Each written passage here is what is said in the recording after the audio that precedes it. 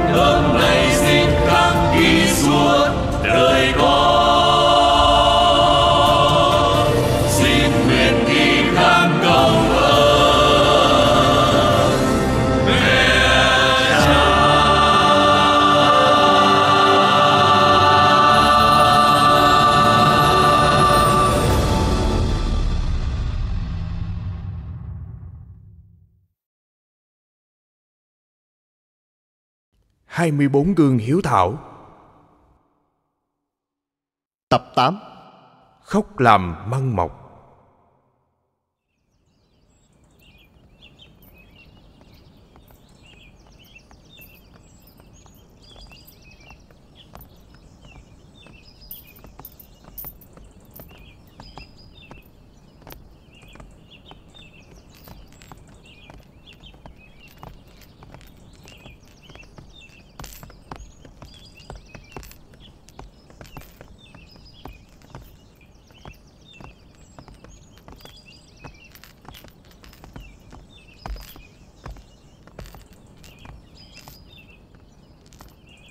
mạnh quyền lệnh ngài uống chút nước đi. Nè uống đi.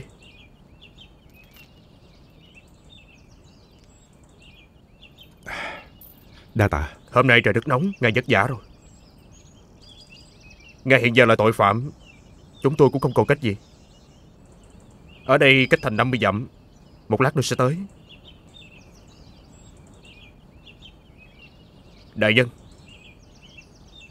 tại sao đại nhân lại khóc chẳng lẽ ngài đang hối hận sao? Thân mang trọng tội Đã làm phiền đại nhân rồi. Tôi đã chủ động nhận tội Đương nhiên sẽ không hối hận. Có điều Tôi đang để tang cho mẹ tôi. Ừ. Không biết khi nào mới có thể về đến trước mộ mẹ được. Tôi sợ là Chỉ có thể gặp được nhau. Trên đường đi xuống hoàng tuyền. Mạnh đại nhân hiếu thảo cảm động cả trời đất. Nhưng mà Ngô Dương làm việc công chính rõ ràng. Cũng có khả năng Ngài sẽ được tha tội đó. Ừ. Chúng ta đi thôi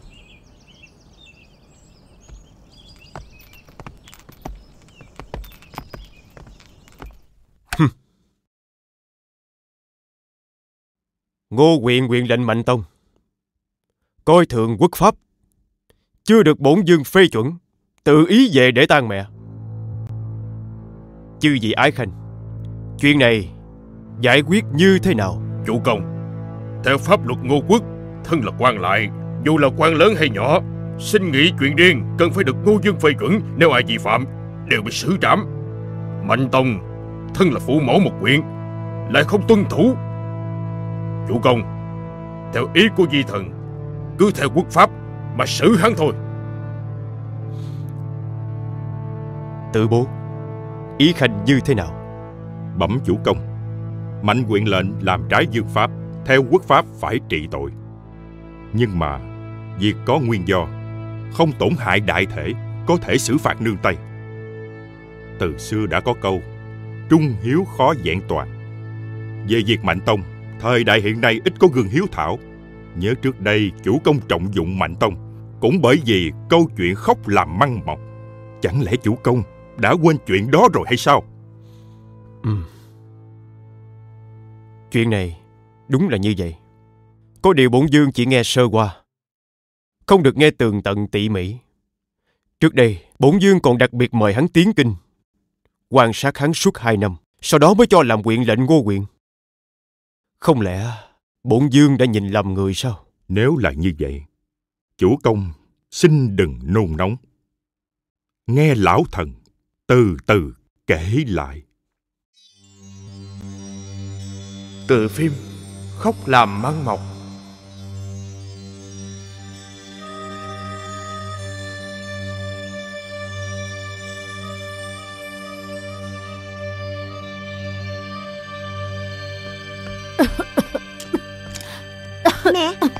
sao vậy? Mẹ sao gì mẹ? Tồn Nhi, mẹ không sao. Ngoan, đi đọc sách đi. Học hành quan trọng. Hà Nhi không chịu, Hà Nhi muốn đưa mẹ về phòng nghỉ ngơi. Ngoan, mẹ không sao, ha? Tồn Nhi, hiện giờ con còn nhớ trước khi cha lâm chung nói gì với con không? Hà Nhi vẫn nhớ, cha nói mạnh gia chúng ta từ xưa đến nay đều là danh gia vọng tộc. Hiện nay gia đạo sa sút, chỉ có học hành mới giúp khôi phục gia môn. Ngoan, Tồn Nhi vẫn còn nhớ rõ, con người không học hành, không hiểu được lý lẽ. Nếu không hiểu lý lẽ, có khác gì súc vật. Trưởng thành rồi thì không thể làm việc lớn. Nếu không thể làm việc lớn, thì khó mà thành gia lập nghiệp được. Đừng nói gì đến quan tông diệu tổ. Hà Nhi chưa bao giờ sao lãng việc học. Nhưng mà trẻ củi cắt cỏ làm việc nhà đều là việc trong bổn phận. Hà Nhi không muốn mẹ quá vất vả cực nhọc. Tông Nhi, quỳ xuống. Tông Nhi, năm nay con bao nhiêu tuổi rồi? Hà Nhi qua 15 tháng 7 này đã tròn 8 tuổi rồi. Tông Nhi, hiện nay con sắp thành người lớn rồi. Mẹ đây muốn nói với con điều này. Mẹ, mẹ có gì căn dặn xin mẹ cứ nói. Tông Nhi, năm nay con đã 8 tuổi. Thời điểm Nam Nhi nên cố gắng học hành. Nam Dương Lý Túc có quan hệ tốt với cha con. Con đến chỗ thúc ấy học hành đi. Mẹ, vậy còn mẹ thì sao? Con ngốc quá, con không cần phải lo cho mẹ. Con đó rảnh rỗi, trở về nhà thăm mẹ là được, ha? Lý Túc là danh sư Đông Ngô. Con cần phải siêng năng theo thúc ấy học hành. Học tốt thi thư, cũng phải học tốt đạo lý làm người. Hà Nhi ghi nhớ lời mẹ giáo huấn, không dám làm trái. Hà Nhi muốn đi tìm thêm ít măng về nấu cho mẹ ăn có được không? Được, Tông Nhi ngoan. Nào, đứng dậy đi. Ngoan, mẹ sẽ làm món măng thật ngon, tiễn con lên đường. Ha? Bây giờ đang vào mùa hè, còn đó hãy đi vào rừng tre đó mà tìm. Đi đường cẩn thận, đi sớm về sớm, biết không? Dạ.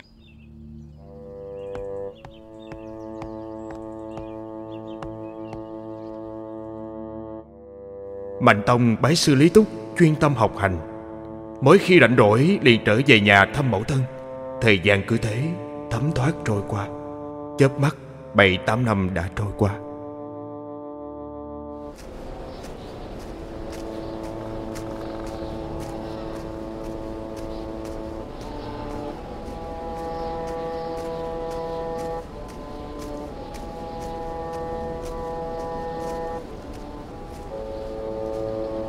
Đã mấy tháng rồi mình không được gặp mẹ.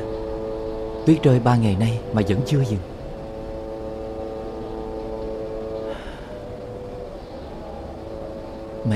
Mẹ, đợi con. Tông Nhi đem về cho mẹ đặc sản của Nam Dương. Lần này lại có đồ ngon để hiếu kính mẹ rồi.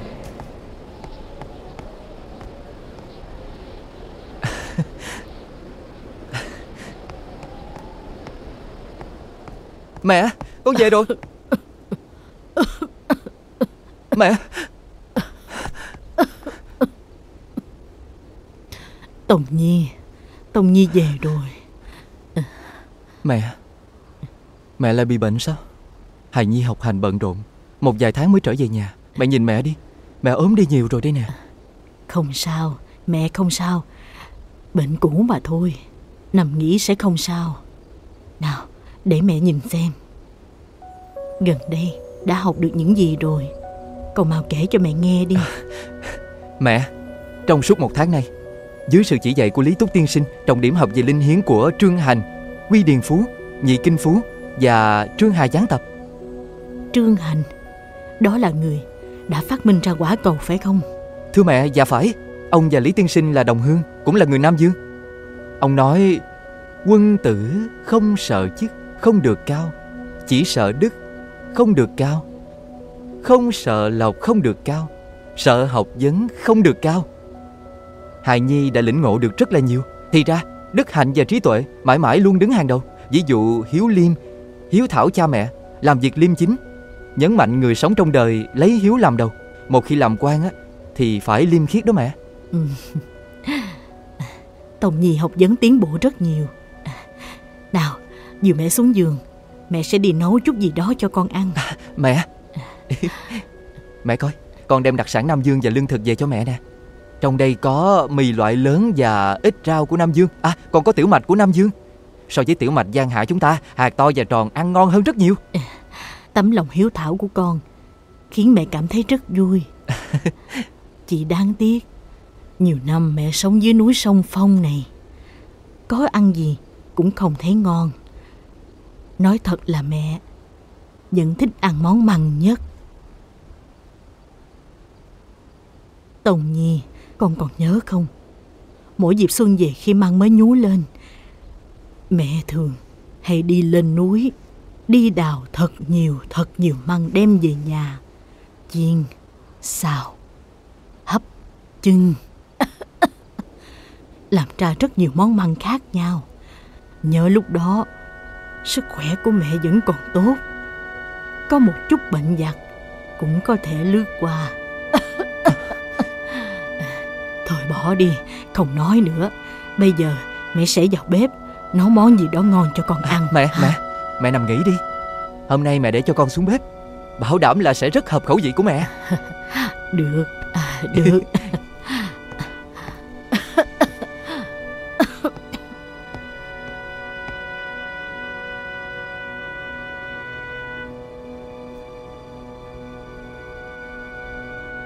Mỗi ngày đều ăn cái này.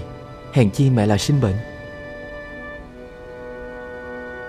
Mình đúng là quá bất hiếu. Không chăm sóc tốt cho mẹ. Phải để cho mẹ sống cực khổ như vậy.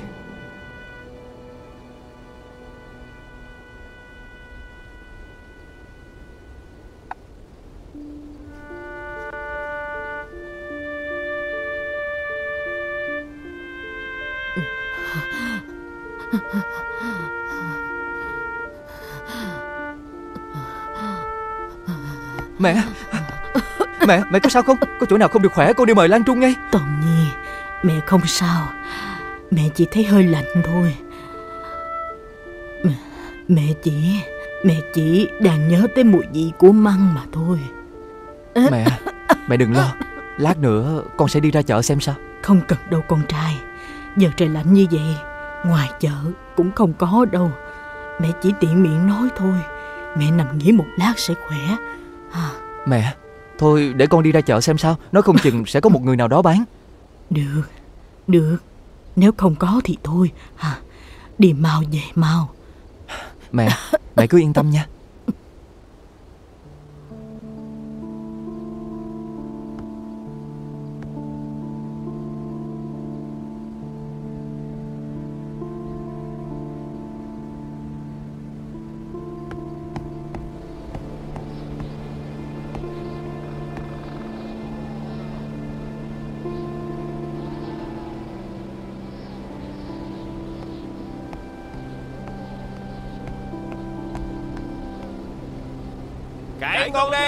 Cải xanh tươi ngon đây. Cải tươi ngon đây. Mua đây mua Ê, đây Ba huynh đệ lại đi mua đồ sao?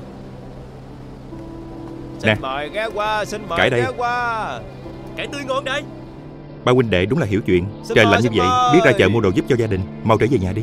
Ca ca Chúng ta tới Cải đằng trước mua ít cá đi. đây. Đúng đó Mẹ thích ăn cá Cải nhất tươi ngon đây. Đi. Cải tươi ngon đây. Cải tươi ngon Cải tươi đây Cải tươi đây. Xin mời ghé xem. Cải tươi ngon đây Xin mời ghé xem. Đại ca, Huynh có bán măng không? Măng hả? Lúc này đâu có măng. Trời lạnh như vậy làm sao có măng được? Mùa xuân thì mới có măng chứ. Đệ biết là mùa này không có măng Nhưng mà mẹ đệ rất là thèm ăn. Đệ đúng là con hiếu thảo Nhưng đáng tiếc Cả con phố này e là cũng không có măng. Hãy để tới lều ấm xem có hay không. Tươi đây. Đa tạ. À không có gì đâu. Cải tươi ngon đi. Huynh đài có bán măng không? Măng à, không có Cải tươi ngon đi. Nè Người đó không biết có bị điên không nữa. Chắc chắn điên rồi Nhưng mà cậu ấy lại rất có hiếu. Đúng là hiếm có đó. Ừ chắc vậy. À, Xin chào. Huynh mua cải gì? Huynh nhìn đi Cải tươi lắm đó. Cải rất là tươi. Mua cải đi. Tiểu ca mua cải trắng không? Huynh có bán măng không? Không có. Huynh tới phía trước xem coi Cải đây cải đây Cải tươi ngon Cải đây. đây Cải tươi ngon Cải đây. Mua cải đi Cải trắng À, nè Thúc à Cải Thúc có bán măng đây, không? câu lên đây. À, Không có không có. Cải đây Cải đây Bóc cải đi, trắng tươi xanh cải đây. đây.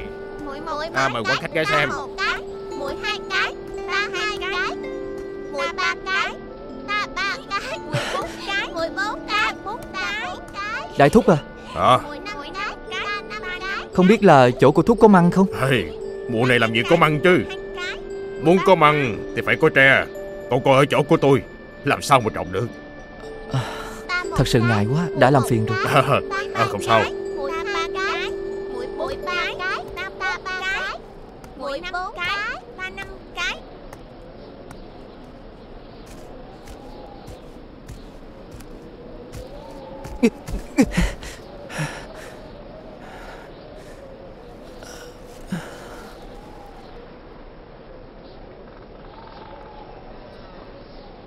Mẹ, Hôm nay Hài Nhi. Dù có như thế nào cũng sẽ đem mang về cho mẹ.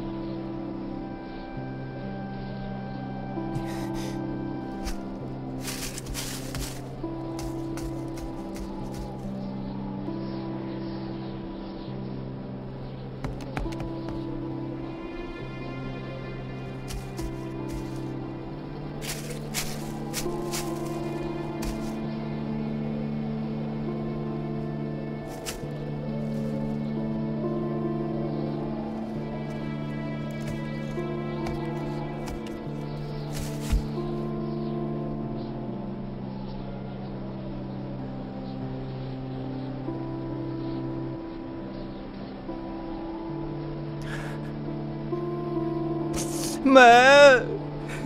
Mẹ đã cực khổ nuôi con khôn lớn. Mẹ cho con học hành. Dạy con nên người. Bây giờ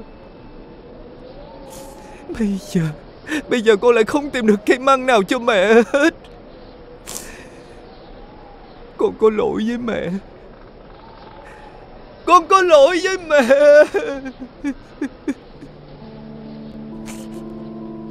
Sơn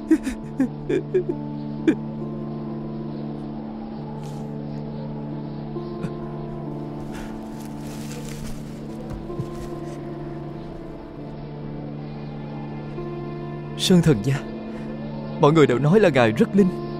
Mong ngài mau mau hiển linh đi. Nếu như ngài tội nghiệp con, Thì xin ngài hãy ban cho con vài búp măng, Cho con đem về Để báo hiếu cho mẹ con.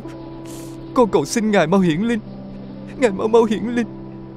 Xin ban cho con vài búp măng, Cho con mang về, Để báo hiếu với mẹ con. Để báo hiếu với mẹ con. Cầu xin ngài mau hiển linh, Mau mau hiển linh, Mau mau hiển linh đi. Mau mau hiển linh.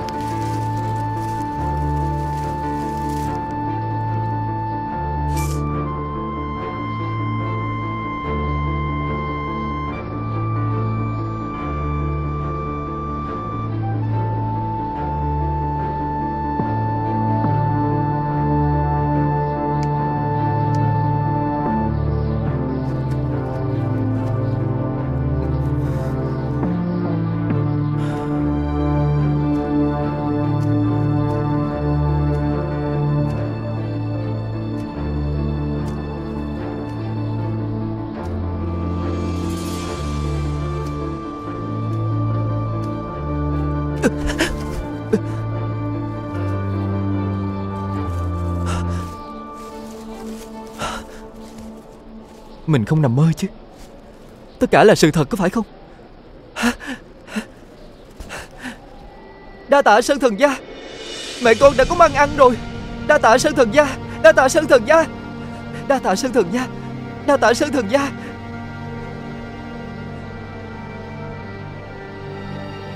Đa tạ Sơn Thần Gia. Đa tạ Thần Linh Đã cho con được toại nguyện. Nếu như có một ngày con được trở thành quan một phương. Con sẽ xem người già ở trong thiên hạ Như là phụ mẫu ruột của con vậy.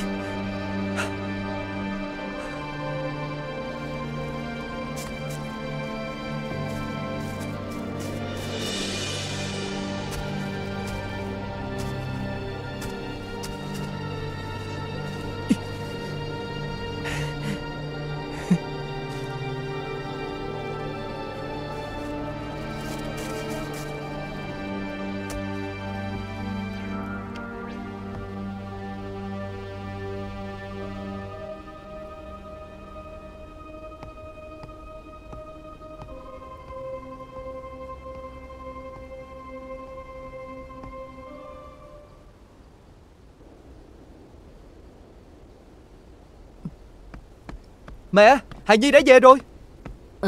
Tông Nhi. Mẹ Sao mẹ lại ngồi đây? Cuối cùng con đã về. Con làm mẹ lo lắng quá. Mẹ nhìn coi. Con đã đem cái gì về cho mẹ nè? Là măng sao? Ở đâu lại có măng vậy? À trước đó con đã đi ra chợ Nhưng mà không có ai bán. Sau đó con đã đi lên núi đó. Lên núi? Con tới rừng trúc sao? À, Con chỉ đến đó cầu may thôi Nhưng mà Sơn Thần Gia đã âm thầm kéo con tới chỗ của ngài. Lúc con về đã tặng cho con mấy búp măng này. Nếu như mẹ ăn măng của ngài ban tặng Thì bệnh của mẹ chắc chắn sẽ nhanh khỏi thôi. Con ngốc quá. Con còn gạt mẹ sao? Con đã chịu nhiều vất vả rồi. Mẹ ở nhà cứ lo lắng. Sợ con xảy ra chuyện. Mẹ Là lỗi của Hài Nhi. Hài Nhi thấy sức khỏe của mẹ không được tốt Cho nên muốn tìm món ngon cho mẹ ăn. Tùng Nhi Mẹ biết tấm lòng hiếu thảo của con. Trời đất chứng giám. Con trai ngoan. Mẹ Bây giờ con đi nấu măng cho mẹ. Mẹ con mình cùng làm. À, Dạ. Mẹ, mẹ coi. Hôm nay đều là những món mẹ thích ăn. Nghe nói măng á, cũng có tác dụng chữa bệnh. Mẹ phải ăn nhiều một chút. Như vậy mẹ của con có thể nhanh chóng được khỏe lại. Tùng Nhi Con đúng là người con hiếu thảo Nhớ sau này không được mạo hiểm như vậy nữa. Ha. Ừ. Tuy nói Trầm thiện hiếu làm đầu Nhưng không được làm tổn hại thân thể. Trong hiếu kinh không phải đã nói Thân thể, da thịt là của cha mẹ.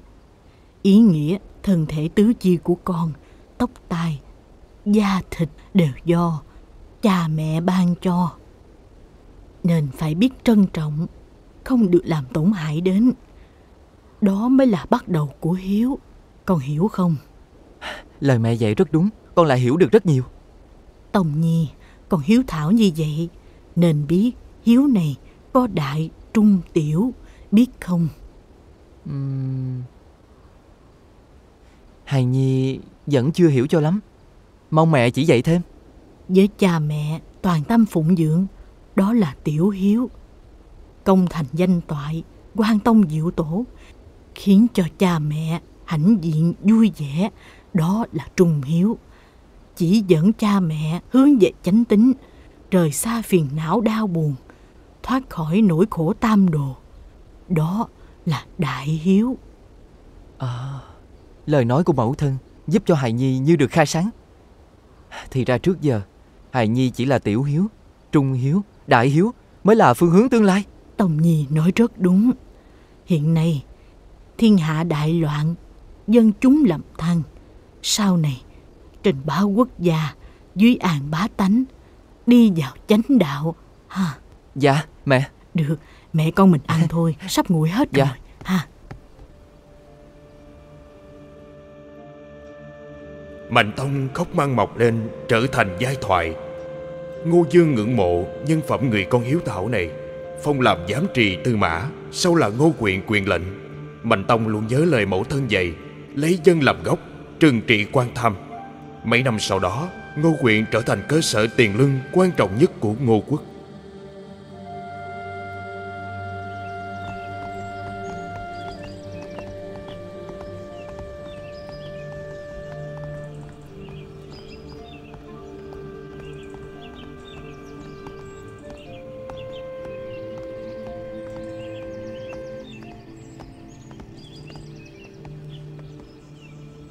Hài Nhi xin thỉnh an mẫu thân.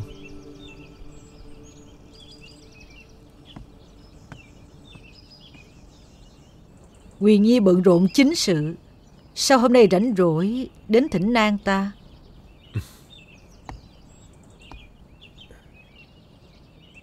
Mẫu thân, lâu ngày không gặp, Nhi thần rất nhớ người. Con vẫn nhớ đến mẫu thân này sao Mẫu thân, tại sao người lại giận như vậy? Con quá hồ đồ Mẫu thân, tại sao người lại nói như vậy? Chuyện của Mạnh Tông Ta cũng đã nghe nói rồi Quyền Nhi à Con thật sự muốn giết hắn có phải không Mẫu thân, vậy theo ý người, phải xử thế nào đây? Trong nhà có con hiếu Là phúc của nước Đồng ngô chúng ta ai nấy cũng có thể giống như Mạnh Tông Hiếu thảo với phụ mẫu Không lo đất nước không mạnh Lòng người không vững Một hiếu tử trung thần như vậy Mà con cũng giết Không phải là quá hồ đồ rồi hay sao Mẫu thân có điều không biết đó thôi. Tên Mạnh Tông đó, chưa được bổn dương phê chuẩn, tự ý về để tang mẹ, không màng gì tới quốc pháp. Quốc pháp.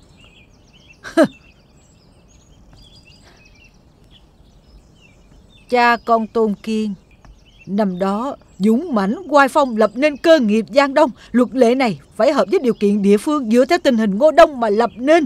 Không phải áp dụng một cách cứng nhắc. Quốc pháp của Triều Hán Có thể thấy quốc pháp Không thể áp dụng một cách cứng nhắc được. Vậy, theo ý của mẫu thân, Theo ý của lão thân. Không những không giết Mạnh Tông Còn phải sửa đổi luật lệ này. Vậy Quyền Nhi à Con vẫn cố chấp như vậy Không chịu ứng biến sao? Tề quyền công dùng biến pháp quan trọng Lập nên bá nghiệp. Ngụy Văn Hầu dùng biến pháp ngô khởi Khiến Ngụy quốc nhanh chóng trở thành nước mạnh Tần Hiếu Công dùng biến pháp thương ưởng Giúp Triều Tần có được bước đầu tiên trong cơ nghiệp hùng vĩ đó Luật cần phải thay đổi cho hợp với xu thế lời mẫu thân nói rất đúng. Nhưng mà ngô pháp là do phụ dương lập nên. Nếu như dễ dàng từ bỏ, có phải là bất hiếu với phụ dương hay không? Thiệt tình Con đúng là hồ đồ quá Sao gọi là hiếu cứ khư khư giữ món đồ phụ thân con để lại đó gọi là hiếu sao? Như hiện nay thiên hạ chia ba Bắc ngụy Tây Thục luôn lâm le dòng ngó ngô. Con khư khư ôm cái cũ không chịu thay đổi. Con có giữ được hay không? Tại sao lại không học hỏi theo Mạnh Tông? Học hỏi Mạnh Tông Hiếu thảo như thế nào? Giữ lấy Giang Sơn phụ thân để lại cho con, thậm chí khiến nó ngày càng mạnh hơn. Đó mới là tấm lòng hiếu thảo đó.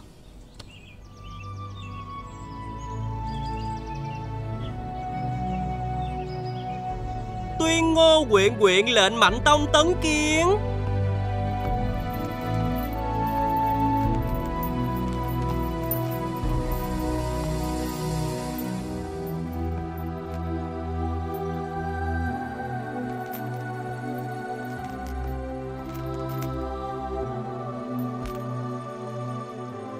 Tội thần Mạnh Tông Khấu kiến chủ công.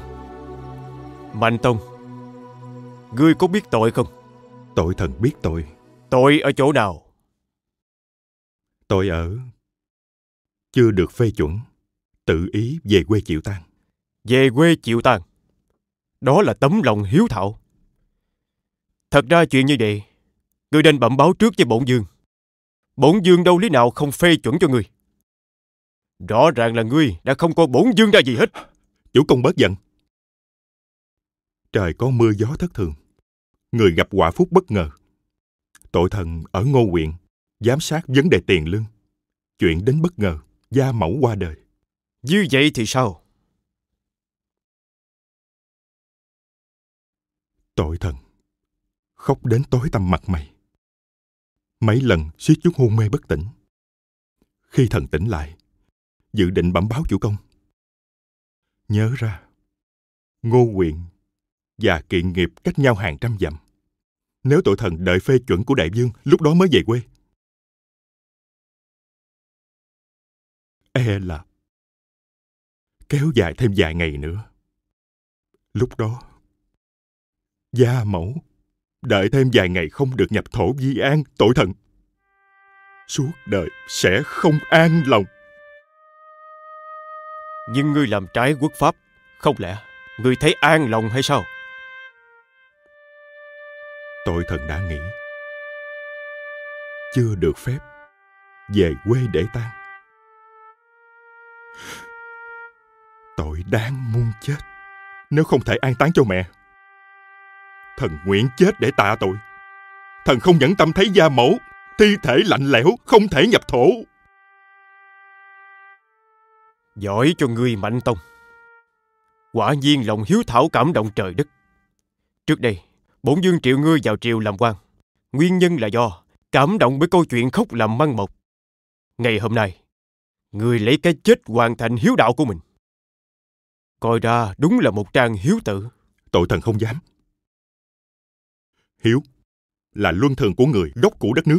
Một khi là con người, thì phải tuân thủ. Tội thần chỉ là tuân thủ di huấn của tổ tiên làm theo mà thôi Vậy ngươi làm trái quốc pháp, ngô pháp là chế độ của tiên dương lập nên. Ngươi không phải luôn làm theo di huấn của tổ tông hay sao? Chủ công!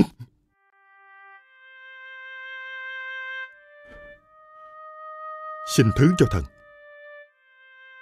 Trung hiếu khó vẹn toàn. Vậy theo ý của ngươi, bổn dương phải xử lý ngươi như thế nào? tội thần vi phạm quốc pháp. Theo lý phải chịu sự trừng phạt. Tội thần cầu xin. Chủ công hành hình. Để nhấn mạnh không một ai được làm trái quốc pháp. Muốn chết sao? Đâu có dễ như vậy. Mạnh tông nghe chỉ. Tội thần xin nghe chủ công xử phạt bổn dương phán người khôi phục chức cũ lập tức về cô huyện thay bổn dương cai quản tốt đại sự tiền lương lấy công chuộc tội. Tạ ơn chủ công đã không giết. Thần máu chảy đầu rơi chết cũng không từ.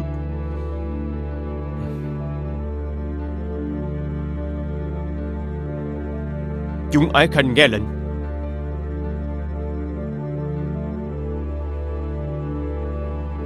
bổn dương đã suy nghĩ kỹ Gia quấn tổ tông. Không phải không sửa đổi được. Từ hôm nay, quan lại vì chuyện riêng cần phải dân tấu bẩm báo với bổn dương. Nhưng mà thêm một điều, Từ hôm nay, Liên quan tới chuyện tận hiếu, quan lại sau khi báo cáo với thượng cấp, Có thể về quê nhà ngay. Không cần phải đợi bổn dương đồng ý. Đề cao hiếu đạo Là đạo trị nước, Lấy dân làm gốc của giang đông ta. Chủ công thánh minh. Chủ, Chủ công, công thánh minh. Tôn quyền không lâu thăng Mạnh Tông làm quan lục quân. Sau thăng làm thư không Ngô quốc thu hút anh hùng thiên hạ Nhanh chóng phát triển lớn mạnh. Câu chuyện Mạnh Tông khóc làm măng mọc Mạo hiểm tính mạng về quê để tan mẹ Lưu truyền đến ngày nay Trở thành giai thoại